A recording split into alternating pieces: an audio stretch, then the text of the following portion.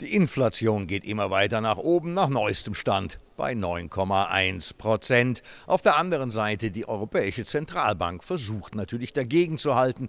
Ja, seit Juli haben wir zumindest jetzt schon mal einen Zinssatz für die Eurozone von einem halben Prozent. Wie es da de facto weitergeht, das weiß allerdings aktuell noch niemand. Und so schauen die Anleger, die Investoren natürlich immer wieder nach, nach sicheren Häfen. Ja, und da hat man im Markt natürlich ganz klar drei Sachwerte. Das ist die Aktie, das ist das Gold und die gute alte Immobilie. Früher bezeichnet auch als Betongold. Aber wie steht es damit aktuell? Denn auch die Baubranche ist ja betroffen von Lieferkettenproblemen und vor allen Dingen von Bauprojekten, die nicht fertiggestellt werden könnten. Dementsprechend heute bei uns bei Wirtschaft TV der Immobilienexperte Otto Kiebler von Haus Plus Rente. Herr Kiebler, aktuelle Situation am Bau nicht so richtig schön. Was können die Anleger da jetzt aktuell machen? Also was den Bau anbelangt, müssen wir davon ausgehen, dass wir im Neubaubereich einen richtigen Einbruch erleben. Ja, wir haben eine massive Kostensteigerung. 18 Prozent dieses Jahr. Es wird erwartet, dass im nächsten Jahr nochmal 20, nochmal 20 Prozent draufkommen. Und zugleich haben wir einen massiven Zinsanstieg. Wir konnten im Januar noch Baufinanzierung machen mit 0,8 Prozent, festgeschrieben auf 10 Jahre. Heute liegen wir beim über Dreifach wir liegen heute bei 3 Prozent im Rahmen der zehnjährigen Finanzierung. Und damit passiert einfach Folgendes, dass sich viele diese monatliche Belastung einfach nicht mehr leisten können. Also im Neubau wird es definitiv einen richtigen Einbruch geben. Viele Baugenehmigungen, die vorliegen, werden wohl in naher Zukunft nicht umgesetzt werden. Die EZB erwägt ja jetzt, den Zinssatz auch weiter anzuheben, im September vielleicht sogar mit einem großen Schritt, hieß 75 Basispunkte. Dann legen wir ihn etwa bei der Eurozone 1,25 Prozent. Was wäre denn der ideale Zins, wo man sich tatsächlich als Immobilieninteressierter, als Bauherr wohlfühlen könnte? Also ich glaube, mit den derzeitigen drei Prozent, die wir haben, festgeschrieben auf zehn Jahre, könnte man auf sich gesehen durchaus leben.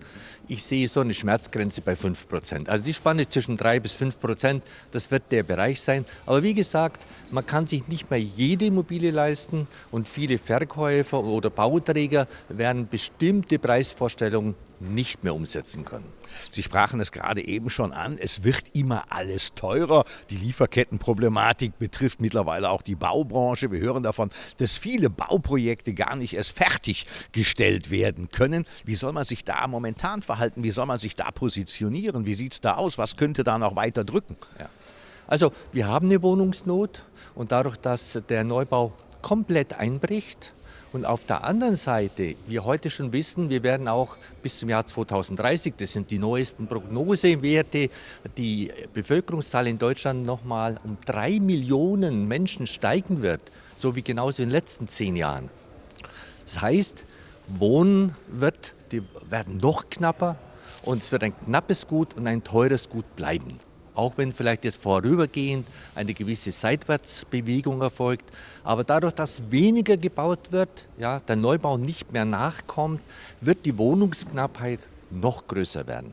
Und deswegen sehe ich mittel- und langfristig weiterhin ordentliche Preissteigerungen im Bereich der Bestandswohnungen.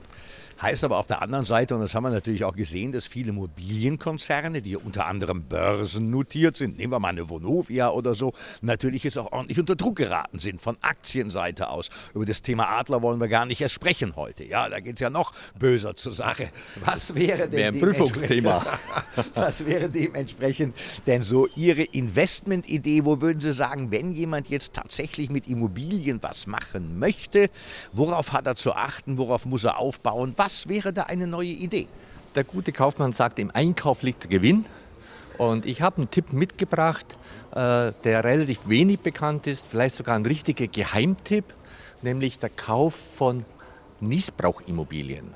Ja, es gibt immer mehr ältere Immobilieneigentümer, die wollen ganz gerne ihr Immobilienvermögen in Barvermögen umwandeln, wollen aber dennoch lebenslang in ihrem Zuhause wohnen bleiben. Und da haben wir, GIV aus München, vor 15 Jahren ein Konzept entwickelt, sowohl für diese Personengruppe, sprich die Immobilieneigentümer, als auch für Investoren. Sinn war, ein echtes Win-Win-Thema zu entwickeln. Und das scheint uns gelungen zu sein, weil die Nachfrage aus ganz Deutschland ist sehr, sehr groß. Wir sind heute an 19 Standorten äh, vertreten. Was wird gemacht?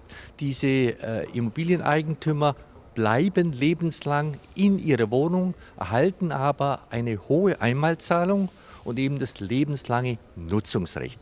Dadurch, dass dieses Nutzungsrecht unentgeltlich ist, Sie müssen also nicht wie beim Teilverkauf monatlich eine Zahlung leisten, Dadurch wird natürlich der Preis auch entsprechend berücksichtigt. Es werden entsprechende äh, Mietwerte angesetzt, sodass der Kaufpreis für Investoren für solche Niesbrauchimmobilien bei ca. 60 Prozent des heutigen Marktwertes liegt. Das heißt, er kann deutlich, zu deutlich geringeren Betrag äh, sozusagen sich die Immobilie leisten und hat damit ein zweifaches Wertsteigerungspotenzial. Er nimmt an der normalen Immobilienwertsteigerung teil, hat aber nur 60 Prozent des Kapitals erbringen müssen.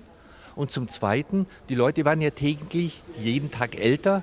Das heißt, dieser Mietwert, dieser Niesbrauchabschlag reduziert sich jeden Tag. Und wichtig ist vielleicht, dass man so eine Immobilie auch jederzeit während der Niesbrauchlaufzeit wieder verkaufen kann, weil, wie gesagt, die Werte steigen.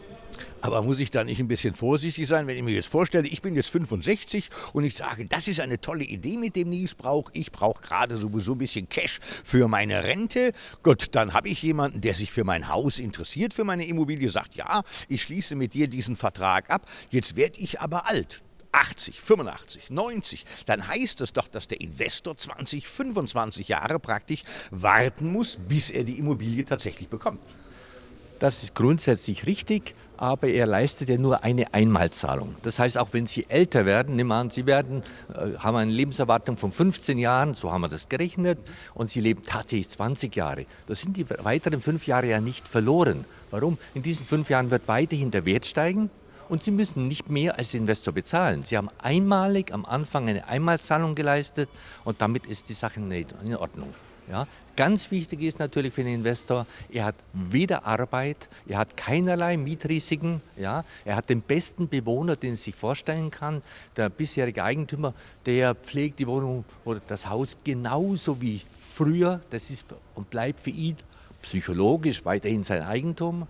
Und alle Kosten, also alle Unterhaltskosten, ja alle Instandsetzungskosten werden vom Niesbrauch begünstigt, also vom bisherigen Eigentümer getragen. Das heißt für mich als Investor, ich gehe zum Notar, ich zahle meine 60 Prozent und ich habe keinerlei Arbeit, keine Ärger und keine Kosten. Eigentlich doch die ideale Immobilie. Sollte man dementsprechend meinen, wieso ist das Thema noch so unbekannt in Deutschland oder ist es nur unbekannt oder ziert sich der deutsche Immobilienbesitzer sein Häuschen weiterzugeben? Wir haben vor 15 Jahren das Konzept auf den Markt gebracht, es ist langsam angelaufen. Es ist das ideale Konzept für einen Immobilieneigentümer, weil er hundertprozentige Sicherheit hat. Dieses Niesbrauchrecht wird im Grundbuch an erster Rangstelle abgesichert. Warum ist es relativ wenig bekannt? Makler wollen dieses Konzept eigentlich nicht umsetzen. Es hat einen Haken für den Investor. Die Sicherheit für die Senioren, für die bisherigen Immobilieneigentümer ist so groß, dass keine Bank bereit ist, das zu finanzieren. Das heißt, ein Investor muss also wirklich diese Finanzierung selbst darstellen, sei es durch Eigenmittel oder durch die Besicherung anderer Objekte. Heißt also dementsprechend, man muss da schon ein bisschen Eigenkapital mitbringen. richtig, auch. richtig, ja. Weil die Banken dann sonst nicht mitspielen. Genau. Aber sicherlich ein interessantes Thema. Äh, Abschlussfrage an Otto Kiebler. Das Thema Immobilien, das liegt Ihnen am Herzen, das weiß ich ja nun. Und wie sieht es denn aus mit anderen Anlageklassen? Sind Sie da auch interessiert? Thema Aktie, Thema Gold? Oder? Ja. Also äh, es ist ganz wichtig bei jeder Geldanlage, man muss streuen. Es wäre sicherlich total falsch, nur Immobilien zu kaufen, wie es auch genauso komplett falsch wäre, nur Aktien zu kaufen. Also die Mischung, die hat es immer gebracht. Früher hat man gesagt, ein Drittel Aktien, ein Drittel Immobilien, ein Drittel Pfandbriefe und äh, heute wird man vielleicht auch noch kleine Goldbeimischung machen. Wir empfehlen unseren Kunden circa 10 Prozent vielleicht in effektiven Goldmünzen sozusagen anzulegen zu ihrer Sicherheit. Uns geht es darum, dass die Leute gut schlafen können und große Sicherheit vor der Inflation haben. Sie haben es gehört, meine Damen und Herren, Otto Kiebler von Haus plus Rente. Also breit gestreut, nie bereut, aber beim Thema Immobilien vielleicht dann doch auch mal um die Ecke denken. Könnte sich nicht nur lohnen, sondern könnte auch ein zukunftsfähiges Geschäft für beide Seiten werden. Win-win, so wie es Otto Kiebler gesagt hat. Das war Mick Knauf für Wirtschaft TV aus der Frankfurter Börse.